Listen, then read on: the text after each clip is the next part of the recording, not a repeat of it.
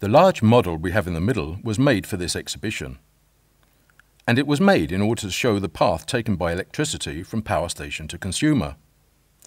There are power stations at both ends. One is the Avedøreværket power station prior to its expansion. The other, I am told, is Kyndbyværket power station. Next, lying in two windows, we have several different cable types.